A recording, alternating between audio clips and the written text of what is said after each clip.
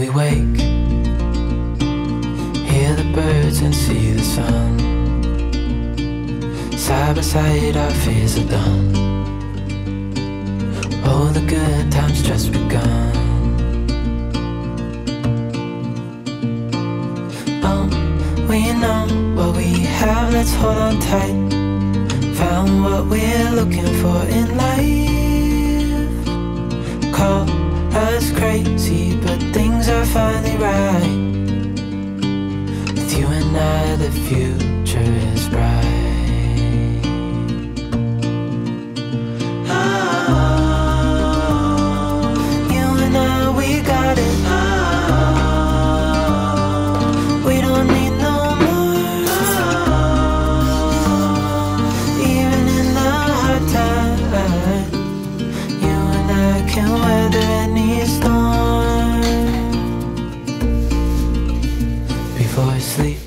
Everyone সকাল থেকে বিশাল আয়োজন শুরু হয়েছে। ভাত, ডাল, মাছ মাছ ভাজা আর আলু ভাজা নিয়ে আমরা চলেছি পিকনিক করতে। আইডিয়াটা অভিষেকের কাল রাত্রিবেলা ওর মাথায় এসেছে। বেসিক্যালি আজকে মানে এখন ছুটি পেয়েছে আর কি।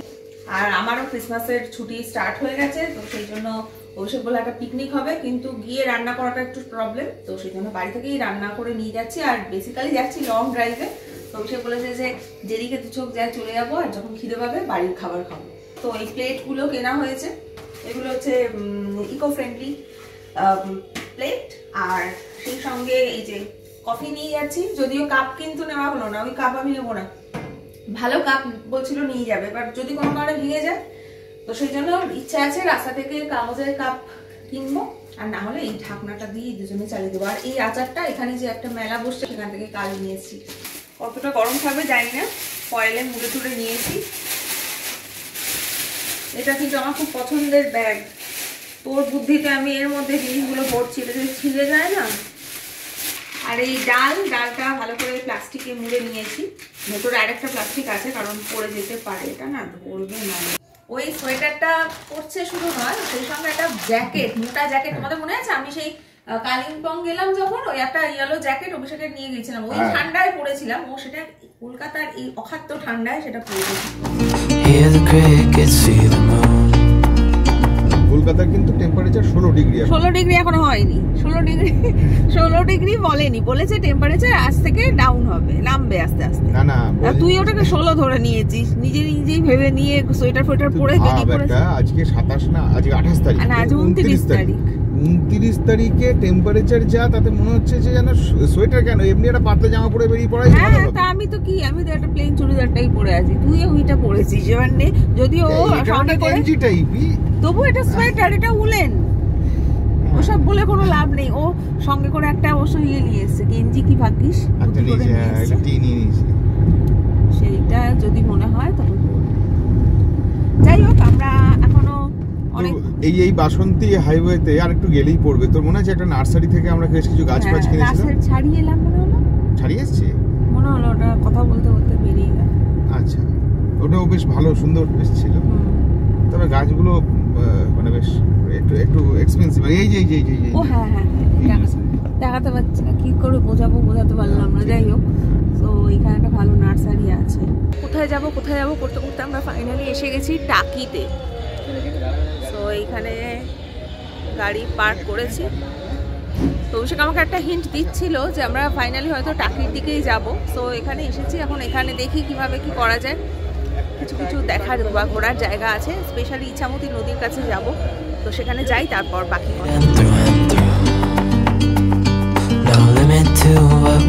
do. Oh, know what we have, let's hold on tight. Found what we're looking for in life. Call us crazy, but things are finally right. With you and I, the future is bright. আমরা একটা টোটো ভাড়া করে নিয়েছি এবং এটা দিয়েই আমরা মোটামুটি টাকির যেগুলো যেগুলো ঘোরার জায়গা সেগুলো একটু ঘুরছি টাকি যে সমস্ত টুকিটাকি জায়গা দেখার আছে আমাদের দাদা যিনি নিয়ে যাচ্ছেন বলেছেন এক জায়গায় একটা জঙ্গলে উনি নিয়ে যাবেন ম্যানগ্রোভ অরণ্য। তো সেখানে বসে খাবার ব্যবস্থা আছে। বাই দ্য ওয়ে এই হচ্ছে ইচ্ছামতি নদী। আর ওই পাটটা দেখছ ওটা হচ্ছে বাংলাদেশ। বাংলাদেশের সাতক্ষীরা জেলা। সাতক্ষীরা জেলা.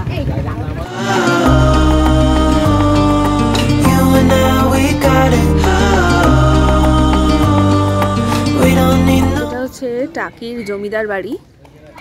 শঙ্কর রায়চৌধুরীর বাড়ি আর কি। আর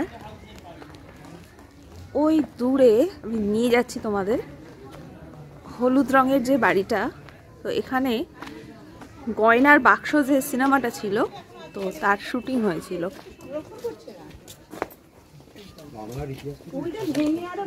তো এখানেই গয়নার বাক্সর শুটিং হয়েছিল। এটা হলো জমিদার বাড়ির ঠাকুর দালান। তো এটা এখন বন্ধ করে দিয়েছে এই যে মাছ দিয়ে রেখেছে। তো যাওয়া যাবে না। এখানে একটা ছোট স্কুলও আছে দেখতে পাচ্ছি। হ্যাঁ এখানে অনেক স্কুল। টাকিতে দাদু পড়াতে আসতেন? হ্যাঁ। টাকিতে আমার মায়ের ছোট পিসামশাই। টাকি গভর্নমেন্ট হাই স্কুলের টিচার ছিলেন। আমরা এখানে এসেছি এখন গুড় কিনতে। এখানে পুরো একদম গুড় মানে জাল দিয়ে তৈরি করা হয়, তো গুড় কিনবো। আর আটকে যাবি পুরো মা, এটা কি সুন্দর ময়ূর পায়রা। কি সুন্দর। ও ঘুরে চলে এলো তো। ও ঘুরে যাচ্ছে, তুই যে ক্যামেরা ঘোরাচ্ছিস না, এবার ঘুরেছে, পোজ দিয়েছে। এই নেটে আটকে যাচ্ছে হ্যাঁ। কি নাম রে তোর?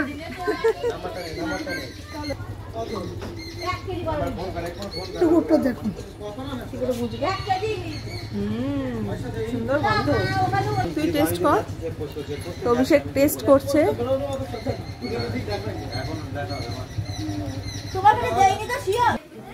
দু লিটার নিয়ে নিয়েছি দু কেজি ঝোলা গুড়। একটু বেশিই বোধহয় হলো না? হ্যাঁ দু কেজির একটু বেশি হ্যাঁ।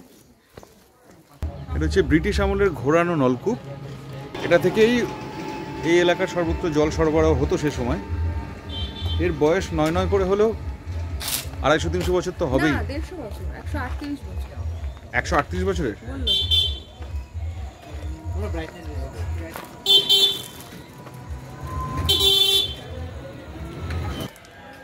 এখানে বিসর্জন সিনেমার শুটিং হয়েছিল। ও সেই বাংলাদেশের যে বাড়িটা হয়েছিল? হ্যাঁ বাংলাদেশেরই তো বাড়ি। পুরো শুটিংটাই তো দেখিয়েছিল যে বাংলাদেশের। বাংলাদেশের পুরো বাড়ির ওই times.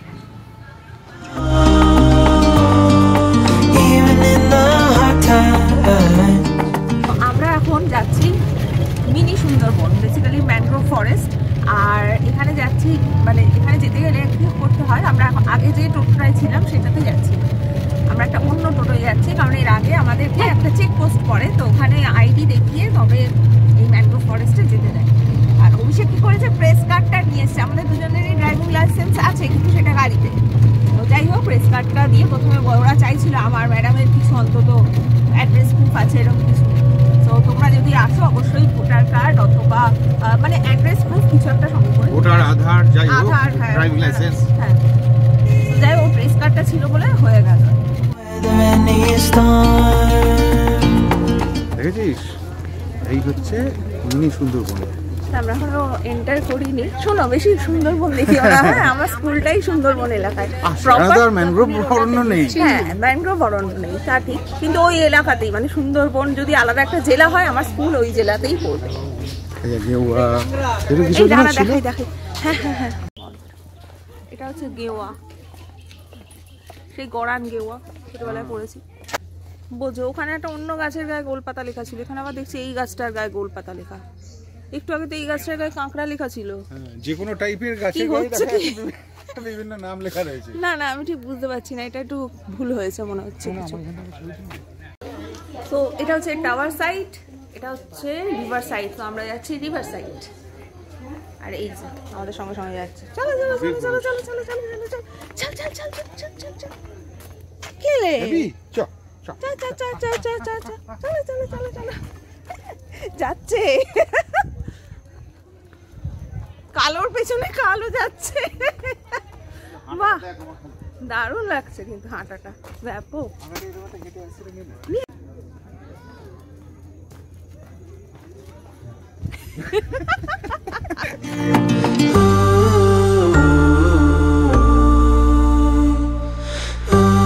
আমরা এবার যাচ্ছি কি? ওটা টাওয়ার সাইড টাওয়ার সাইডে যাচ্ছি। কিন্তু একটা জিনিস দেখেছি এখানে সাদা কালো বাইন সাদা বাইন এই সমস্ত গাছ রয়েছে গুপি গাইন বাঘা বাইন এই সমস্ত গাছ রয়েছে কিন্তু কিন্তু কিন্তু সুন্দরী গাছ এখনও খুঁজে পাওয়া যায়নি। সুন্দরী গাছ এই আমার সঙ্গে রয়েছে এক সুন্দরী। চলো। তো এই হচ্ছে টাওয়ার মানে সিদ্ধি উঠতে হবে উঠবি? হুম তো উঠবো না কেন? চল চল। চলো একটু এক্সারসাইজ হোক। এই আর কি টাওয়ার মানে এটাই। চারপাশে এখানে জঙ্গলটা দেখা যায় বেসিক্যালি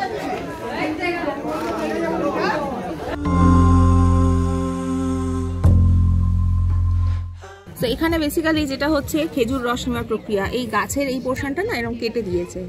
আর চেঁচে দিয়েছে, এখান থেকেই রস বেরোবে। ভোরবেলা মানে সারা রাত এটা ঝুলে থাকে এবং তখন রসটা বেরোয়, তারপর এই রসটা কালেক্ট করে নেয়।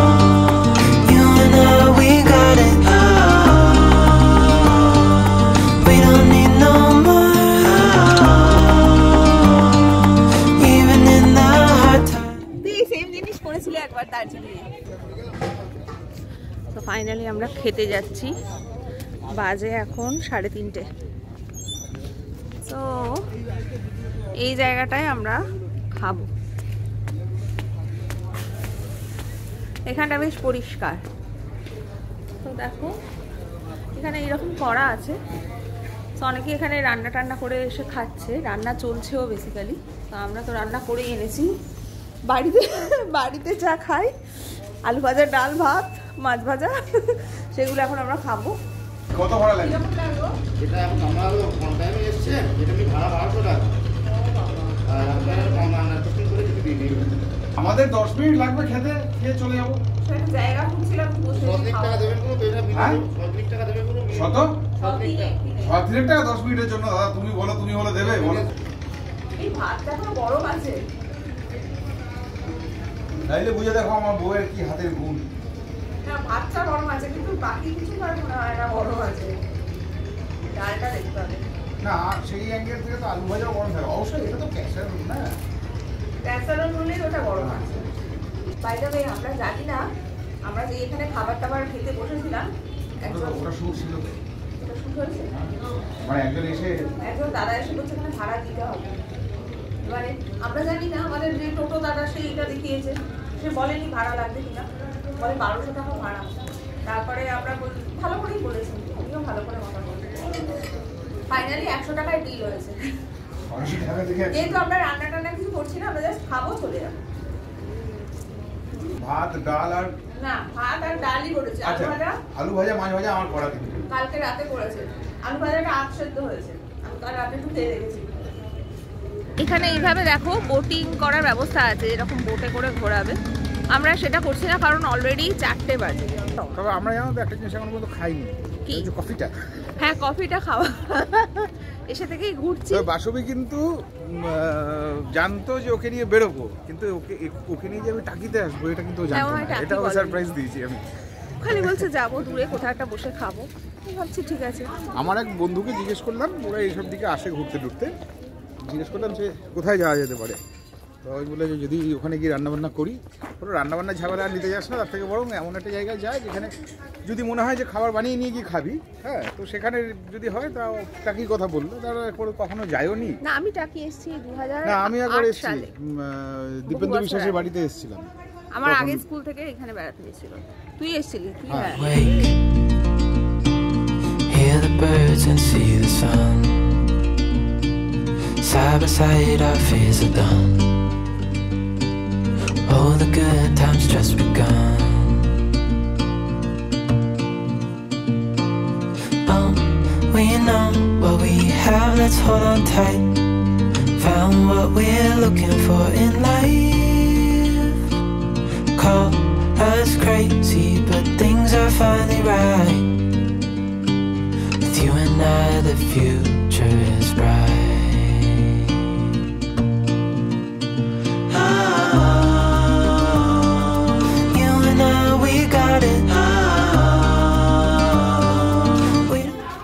ঘোষবাড়ির পুজো দালান। কত পুরনো আর কি অপূর্ব যে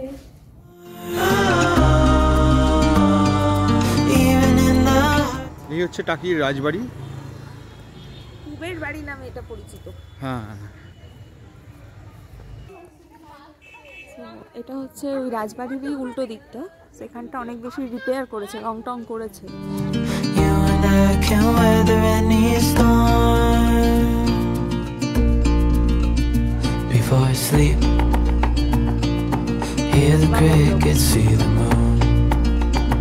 আমরা যদি আরও সকাল সকাল আসতাম তাহলে বোটিংটাও করতে পারতাম। কিন্তু এখন দেখো অলরেডি সন্ধে হব হব আলো ফালো জ্বলে গেছে।